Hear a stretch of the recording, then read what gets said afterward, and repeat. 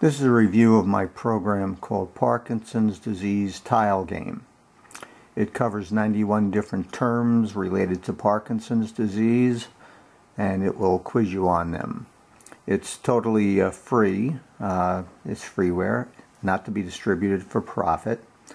And it will run on Android only, versions 5 through 9, which are the 64-bit compatible versions of Android.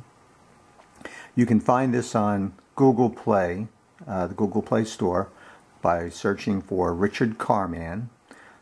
And Carman is M-A-N, C-A-R-M-A-N. Uh, you will see about 20 different apps, but if um, 20 from myself, you scroll through those, you should be able to find this particular game. Okay, so the way this game is set up, uh, by default comes up with no sound playing, no music.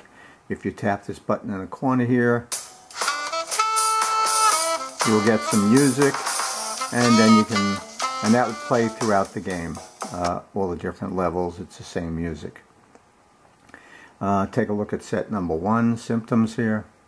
Uh, you see it gives you a definition up here of a symptom and uh, this is something to do with uh, having trouble opening your eyes and um, trying to, uh, let's see, oh, here's eye opening apraxia. That's probably it.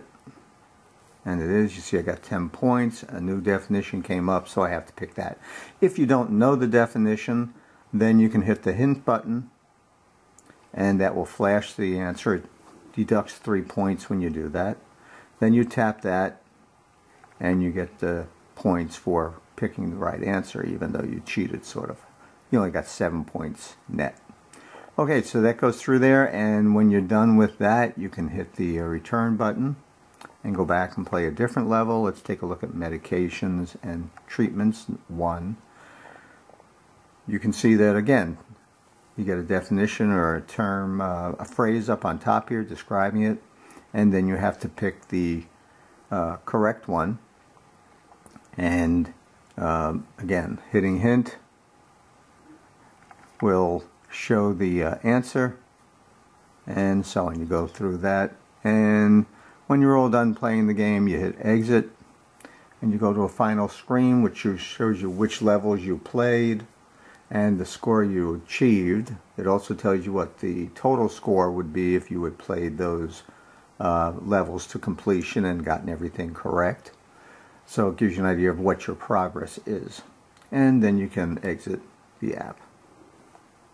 Okay, well thank you for watching and um, I hope you find this useful and uh, feel free to pass it on to your friends and share it. Bye for now.